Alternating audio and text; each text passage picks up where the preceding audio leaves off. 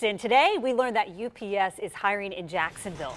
The shipping company planning to hire 1,600 new part-time positions. And you may be eligible for benefits which include tuition assistance. Hiring will happen now through October. If you're interested, we have all the details on firstcoastnews.com.